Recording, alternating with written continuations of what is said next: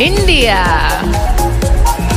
Harness draws inspiration from her mother, who broke generations of patriarchy to become a successful gynecologist. Hello বন্ধুরা আজ একুশ বছর বাদে ভারতের কোনো একটা মেয়ে মিস ইউনিভার্স হলেন ভারতের লারা দত্ত যখন দু হাজার সালে মিস ইউনিভার্সে সম্মানিত পেয়েছেন তখন এই মেয়েটির বয়স মাত্র তিন মাস।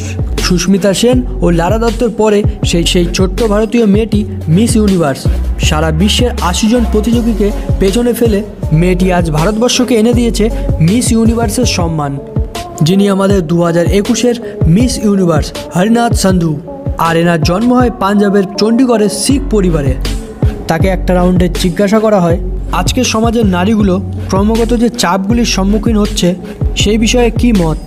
তখন মেয়েটি জবাব দেয়, সবার আগে মেয়েদের নিজের ওপর বিশ্বাস রাখা উচিত, কারণ সেটাই নিজেকে সুন্দর করে তোলে। তাদের উচিত অন্যদের সাথে তুলনা না করা এবং নিজেই নিজের জন্য আওয়াজ উঠিয়ে প্রতিবাদ করা।